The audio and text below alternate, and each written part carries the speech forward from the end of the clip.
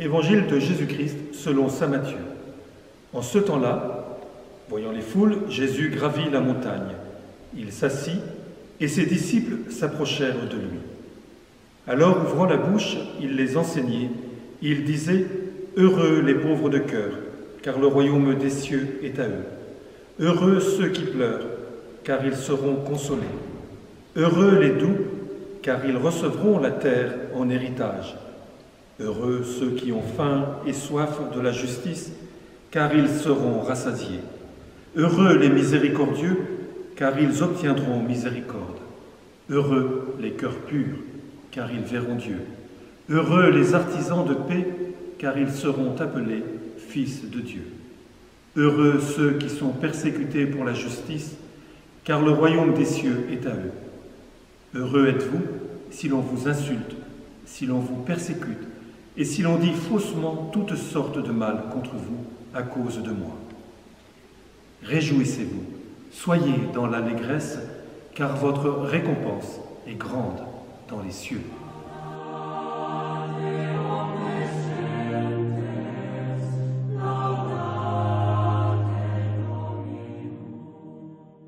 Chers amis, nous sommes le jour de la Toussaint, et pourtant nous sommes dans l'épreuve.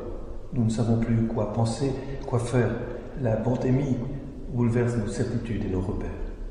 Nous ne pouvons prévoir un terme à cette situation sanitaire qui nous isole. La violence, par ailleurs, la violence du radicalisme religieux nous sidère. La folie politique nous révolte et nous inquiète. À la Toussaint, l'évangile des béatitudes peut nous redonner souffle. Les béatitudes, bienheureux êtes-vous. N'est-ce pas ce que cherche l'humanité depuis toujours, aujourd'hui encore? Le bonheur. Il est présent dans toute la Bible comme une promesse offerte au peuple de Dieu. Le bonheur, c'est la sortie de la servitude, de l'esclavage d'Égypte. Dieu rappelle ces événements à son peuple en lui donnant les dix paroles de la loi. Par là, il lui demande de choisir. Je mets devant toi la vie ou la mort, la bénédiction ou la malédiction. Choisis donc la vie pour que vous viviez, toi et ta descendance, en aimant le Seigneur ton Dieu, en écoutant sa voix, en vous attouchant à lui. Choisir la vie, c'est la source du bonheur promise sur la haute montagne du Sinaï. Dans l'évangile de Matthieu, les béatitudes sont quasiment les premiers mots publics de Jésus. Il vient d'appeler ses premiers disciples et sa renommée se répandit dans toute la Syrie. On lui amena tous ceux qui souffraient, atteints de maladies et de tourments de toutes sortes, possédés, épileptiques, paralysés, et il les guérit. Jésus se révèle ainsi dès le début comme le libérateur attendu, annoncé par les prophètes. Dans notre monde qui souffre, Jésus libère son peuple. Et maintenant, avec les béatitudes, il explique la source de ce bonheur. C'est son programme, si on peut dire. S'il est venu sur la terre, c'est pour lui redonner ce bonheur qu'elle a perdu. Je vous propose d'écouter ces béatitudes comme le fondement d'un vivre ensemble. Quatre d'entre elles, les premières, concernent la manière dont nous nous ouvrons à l'autre, notre façon de nous mettre en relation avec les autres. Heureux les pauvres de cœur, Heureux les doux, heureux ceux qui pleurent, heureux les cœurs purs. Ce sont certainement des attitudes toutes intérieures, mais elles induisent dans nos comportements des manières de nous rapporter à l'autre qui lui permettent d'exister, de se tenir debout, sans ombre ni trouble au visage, comme dit le psaume. Et puis avec les quatre béatitudes suivantes, nous sommes invités à nous mettre en mouvement vers les autres pour agir et leur donner ce bonheur auquel eux-mêmes ils aspirent. Heureux ceux qui ont soif et faim de justice, heureux les miséricordieux, heureux les artisans de paix, heureux ceux qui sont persécutés pour la justice. C'est bien le vivre ensemble qui est à l'œuvre. Par contre, les conséquences ne tardent pas à venir dans ce monde de violence et de souffrance. C'est la neuvième béatitude. Heureux serez-vous si l'on vous insulte, si l'on vous persécute. Ainsi, c'est comme ça sur notre terre. Se tourner vers les autres avec amour et respect ne rapporte bien souvent que l'insulte, l'ingratitude et la souffrance, parfois même la haine et les persécutions. C'est cet aspect qui fait difficulté, ou plutôt que nous avons du mal à comprendre ou à accepter dans les béatitudes. Bien sûr, pour obtenir le bonheur, nous comprenons qu'il faille être du bon côté. Il faut choisir la vie, comme Moïse le disait au Sinaï. Mais pourquoi faut-il nécessairement passer par la pauvreté, les pleurs et les persécutions? Pourquoi faut-il accepter les conséquences douloureuses de cette vie? Pourquoi la souffrance et la mort, la dure réalité de notre humanité? Et puis, pourquoi l'humanité devrait-elle toujours vivre dans la violence et la haine? C'est l'insondable mystère de notre humanité qui nous travaille au plus intime de ses béatitudes. Et c'est cette humanité que Jésus nous révèle en sa propre existence. C'est ce qu'il va vivre sur le chemin de la Galilée à Jérusalem, compatissant avec toute souffrance, mais finalement en mourant sur la croix pour nous donner sa vie. Dans le sermon sur la montagne, Jésus répond à notre désir d'être heureux, mais il en annonce les difficultés et il nous en donne le mode d'emploi. Il ne s'agit pas de faire tout seul notre bonheur. Nous le ferons bien sûr avec lui qui est Dieu et qui nous montre le chemin, mais nous le ferons surtout de manière inséparable avec les autres, nos semblables, en combattant les forces du mal et de la mort.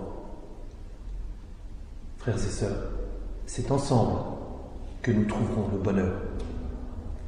Ainsi, les béatitudes sont un chemin à parcourir chaque jour avec le Christ, avec nos sœurs, avec nos frères. Demandons au Seigneur de nous éclairer sur la manière dont, nous allons les vivre. Demandons-lui la force et l'énergie intérieure pour traverser l'épreuve de la vie.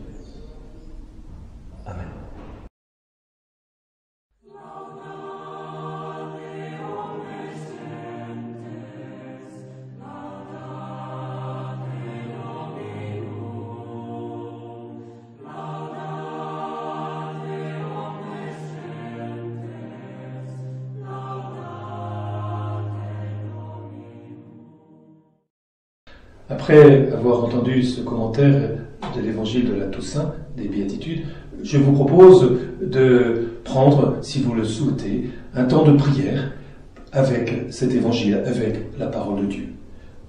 Vous vous fixez un temps suffisamment long pour que la parole résonne à votre cœur. Vous vous fixez un lieu où vous ne serez pas dérangé, dans une attitude respectueuse et attentive. Cela peut être la chambre, une église qui sera restée ouverte, un espace public.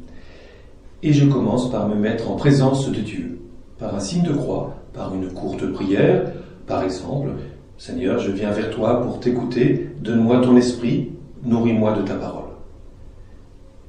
Et puis je commence par lire cet évangile des béatitudes et je me laisse pénétrer par la parole de Dieu pendant quelques minutes de silence. Et puis je contemple. Avec mon imagination, je peux me représenter la montagne où Jésus instruit ses disciples. Imaginez leur soif de comprendre. Ensuite, je prie avec chacun des points qui suivent, qui sont que je vais vous donner. Il trace un itinéraire, reprenant en quelque sorte ce que j'ai pu dire dans l'homélie. Il s'agit de laisser résonner en notre cœur la parole. Il n'est pas nécessaire de tout prendre. Quand vous avez trouvé du repos sur un point, vous passez au suivant ou vous restez à celui où vous avez du goût. Premier point, voyant les foules, Jésus gravit les montagnes, la montagne. Regardez, écoutez, sentir cette foule, cette foule qui est malade, qui souffre, qui cherche et qui découvre Jésus. Alors, je me mets avec elle à la suite de Jésus. Quelle est aujourd'hui la foule? Quelle est mon attente? Est-ce que cette foule attend le bonheur? Et moi, est-ce que j'attends le bonheur? Je laisse mon cœur travailler avec Jésus. Et puis, deuxième point, heureux les pauvres de cœur. Heureux, toutes ces béatitudes. méditer lentement les neuf béatitudes, l'une après l'autre, réfléchir à ce qu'elles me disent de l'humanité, en quoi elles sont une attitude, une attitude qui tourne l'homme vers son semblable, comment elles mettent l'homme en mouvement, la justice, la miséricorde, la paix, au contraire l'insulte, la persécution? Et alors, avec chacune de ces béatitudes, je m'interroge, que vais-je faire? Silence encore. Et puis, troisième point, le royaume des cieux est à eux. Reprendre les neuf béatitudes et réfléchir sur le bonheur promis par Jésus à ceux qui les vivent.